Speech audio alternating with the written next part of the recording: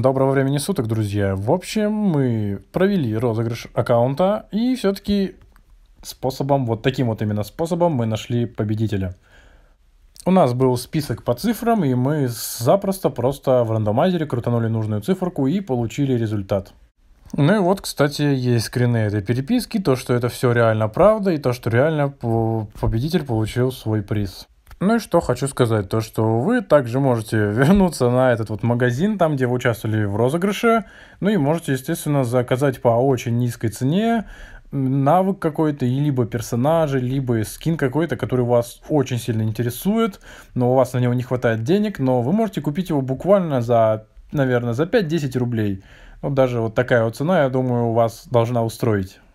Думаю, 10 рублей на киви у кого-то дозволяется. Но, например, многими заветного Даус или Некроманта вы сможете получить почти бесплатно. Ну, если что, ссылочка будет в описании. Если кто не видел, то заходите, смотрите, выбирайте и пишите. Ну, а также, если вам это видео понравилось вдруг, то ставьте лайк. Но если вы вдруг расстроены все-таки тем, то, что вы не выиграли, то с вас дизлайк. Но и обязательно подпишись, потому что я все вижу. Также, как вы знаете, я сделал коллаборацию, не такую большую, но, думаю, существенно заметную – с ютубером таким, как Ем. М. Многие называют по-разному, но все-таки оно так. Смысл заключался в том, то, что он делает свое видео в своем формате на мой канал, а я делаю видео свое в своем формате на его канал. И, кстати, получилось довольно неплохо, поэтому это видео я оставлю вам крутиться, то самое видео, которое я делал для его канала. А то видео, которое он делал для моего канала, оно висит ниже, поэтому обязательно переходите и смотрите. Думаю, ссылочку я оставлять не буду, потому что это видео и так висит последним, да и к тому же в конце это видео вы увидите в предложениях у вас. Ну, я желаю вам приятного просмотра, дорогие друзья. Ну и заранее с вами прощаюсь. До новых встреч. Пока. Здорово, дорогие друзья, вы на канале М, но с вами не он, с вами я, дядя Андрей, ссылка будет в описании, поэтому заходите ко мне на канал, я вас жду в гости. Ну а мы начинаем. Но в этом видео я расскажу вам топ-3 персонажа, бесплатных персонажа, которых лучше стоит всего прокачать в самом начале игры или качать сразу же после того, как вы прокачали предыдущего. Сразу хочу сказать то, что это лично мое мнение, а ваше мнение вы можете высказать, естественно, в комментариях, но обязательно вам всем, думаю, ответит, и все ваши комментарии будут прочитаны.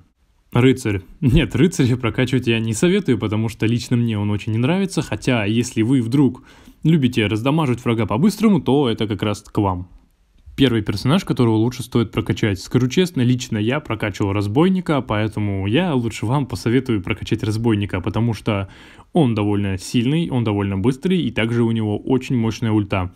Также касается то, что у него очень хорошее оружие, если оно прокачано до конца. Ну и, в принципе, он вполне бюджетный со стороны покупки в начале игры. К сожалению, на нем пока всего две ульты, одна из них платная, хотя я бы сказал, что она очень имбовая, если она у вас есть, то я рад за вас, потому что я бы себе ее точно хотел бы. Почему стоит прокачать именно его, а не Ассасина? Я бы взял только лишь бы его ради того, то что у него реально хорошее оружие.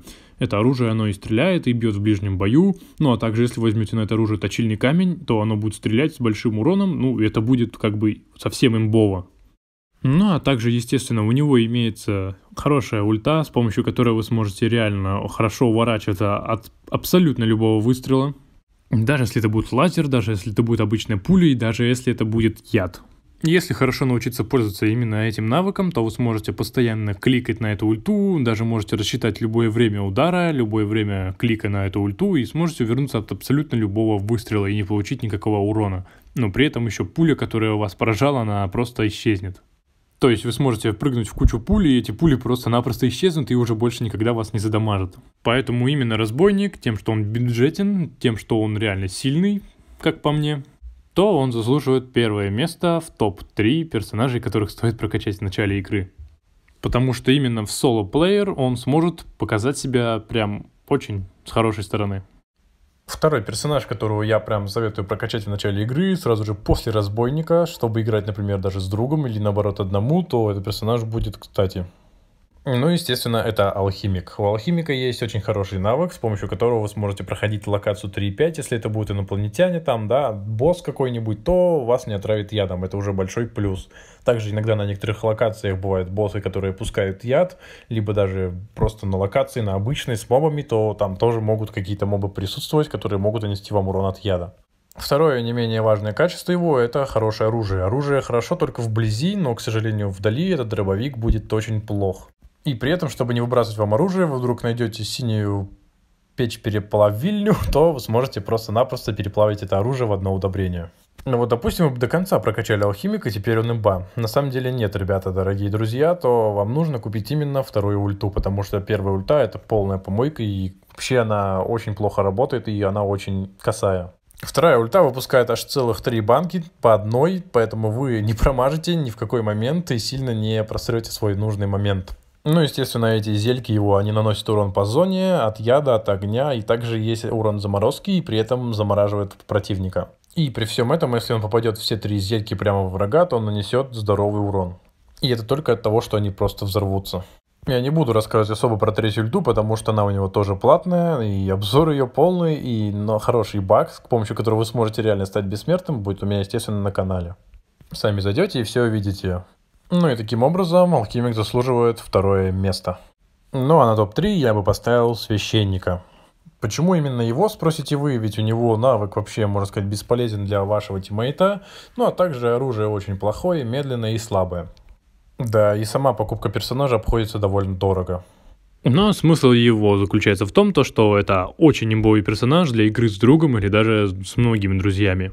Допустим, если вы даже берете первую ульту, которая исцеление, она очень много хпшек может отхилить, даже если, например, ваш друг любой персонаж, то можно сказать, что хпшки у него будут полные. Потому что его навык, он восстанавливает больше здоровья с помощью хилки. То есть даже на его хилку это все действует.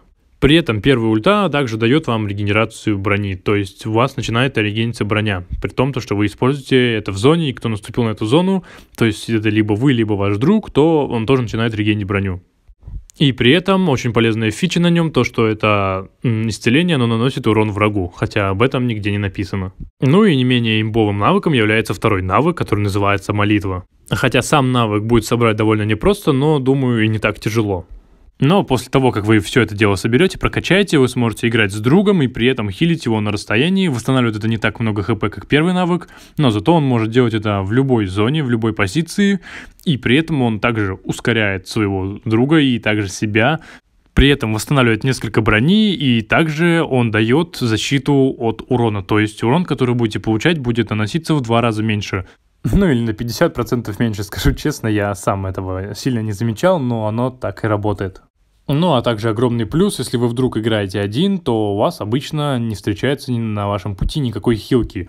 Но как раз он вам даст то, что вам нужно. То есть вы сможете просто лечиться.